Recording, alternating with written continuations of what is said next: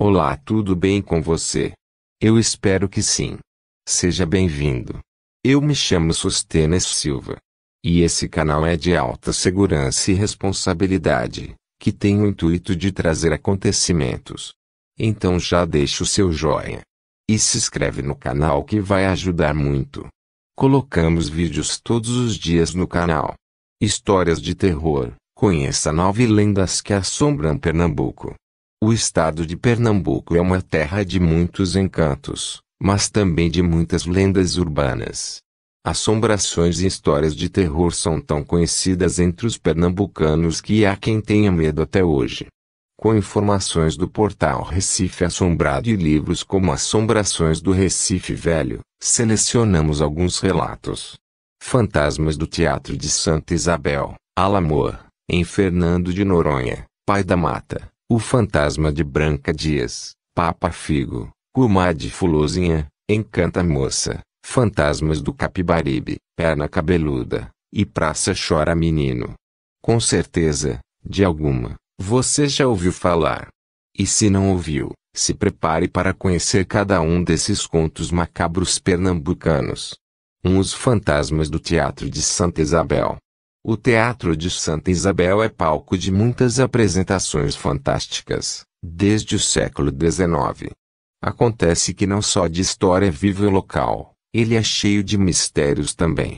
Visagens passeiam pelos camarins, na plateia, nos corredores, nas frisas e camarotes, além de sons arrepiantes que são ouvidos e confundidos com as muitas lembranças guardadas no prédio.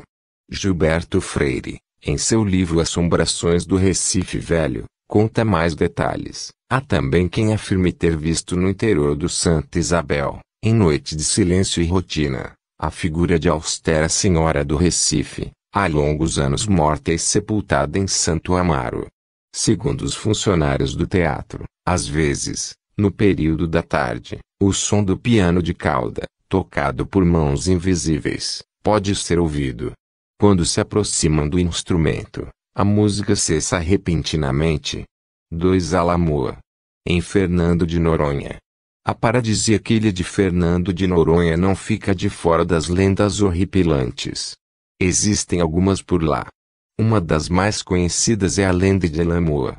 No livro Fernando de Noronha, Lendas e Fatos Pitorescos, de Marieta Borges, a descrição é a seguinte, loura e nua, com a fosforescência e maldade nos olhos, como a encarnação do desejo sexual. Os homens se encantavam e se deixavam levar para o ponto mais alto da ilha, o Morro do Pico. E quando a vítima, friamente ia abraçá-la, a linda e sedutora mulher se transformava em um esqueleto de órbitas fascantes, apavorando os jovens que se atiravam no oceano ou se despedaçavam nos arrecifes, conclui.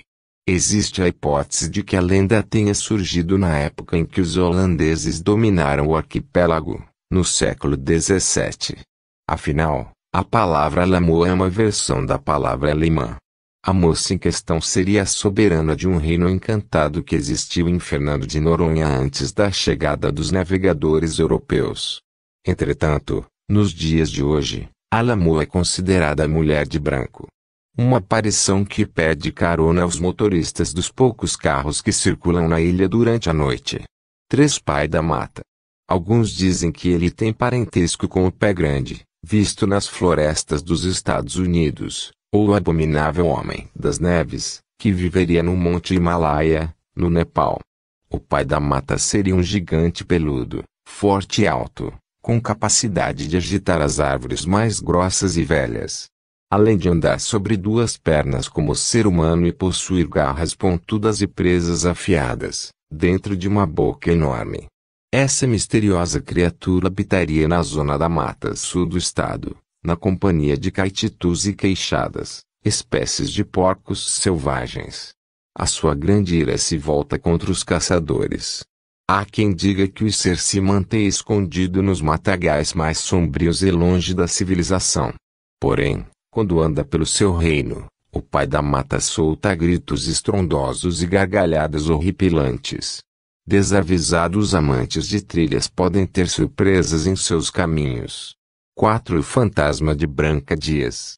Branca Dias era uma rica dona de engenho que vivia no Recife. Ela praticava secretamente a religião judaica, em um momento em que havia uma perseguição da Igreja Católica aos judeus, durante a Inquisição. Quando soube que iriam atrás dela, ela juntou tudo que tinha de mais valioso e jogou dentro do riacho da propriedade onde morava, o Riacho do Prata, no horto de dois irmãos, o zoológico do Recife.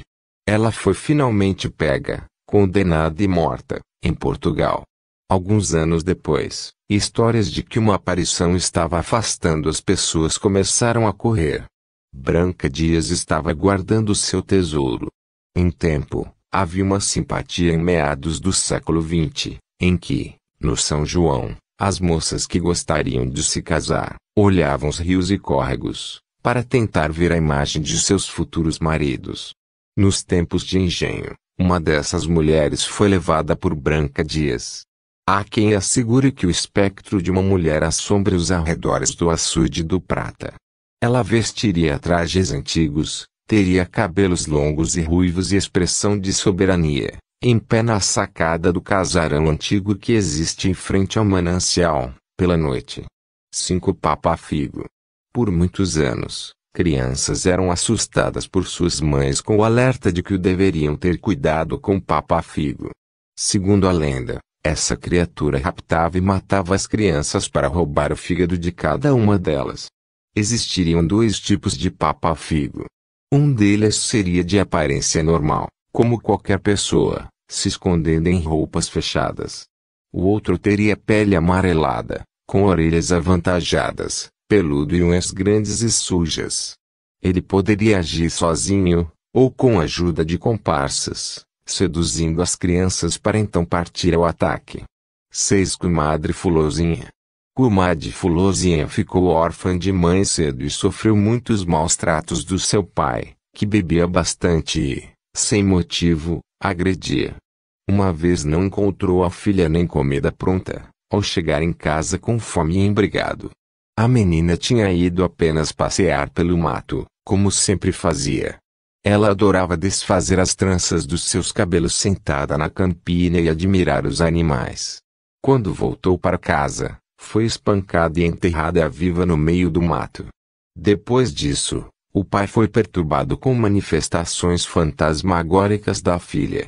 Ele se matou. Tendo percebido que tinha sido tomado pelo ódio, o fantasma da menina não teve paz. Em compensação, jurou proteger os animais da mata de qualquer caçador. Assim, ela faz com que eles se percam ou dá uma surra neles com cipós que usa como chicote. Sua marca é seu assobio, quando está longe, ele sua está perto, mas quando sua está longe, é quando ela está perto. Vivendo na zona da mata de Pernambuco, se é respeitada, ela ainda ajuda os perdidos. 7 Encanta moça. Uma iaia branca, rica e bela, passeava à noite, quando percebeu que estava sendo perseguida pelo marido ciumento. Era uma região pouco habitada da capital pernambucana, na época dos grandes engenhos. Durante sua fuga, ela simplesmente desapareceu no ar. Magicamente, ela teria se encantado nos mangues em torno Capibaribe, onde hoje seria o bairro do Pina. Ela acabou retornando desse mundo do além, com a missão de vingar todos os abusos permitidos pela sociedade machista daquele tempo. Em noites de lua cheia, ela aparece nua para atrair os homens que circulam naquela região. Assim como a lamoa, a vítima sente uma atração irresistível mas, quando chega perto, a imagem se desfaz. Oito fantasmas do Capibaribe.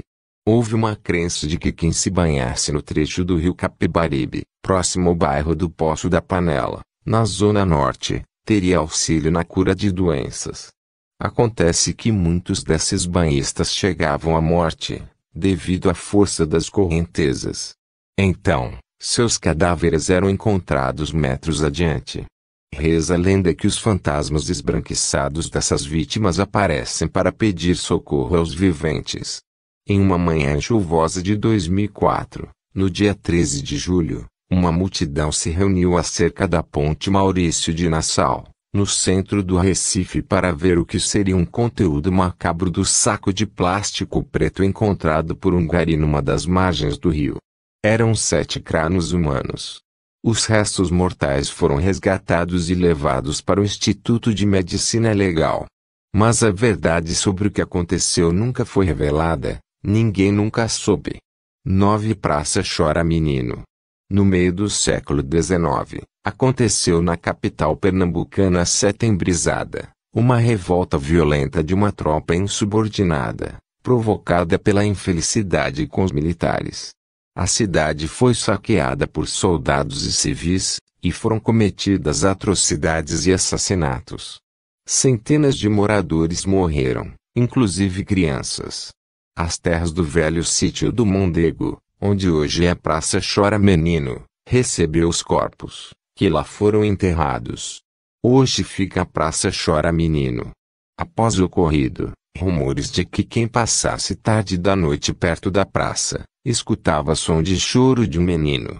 Há quem diga que, mesmo hoje em dia, ainda dá para ouvir soluços e choramingos das vítimas do massacre.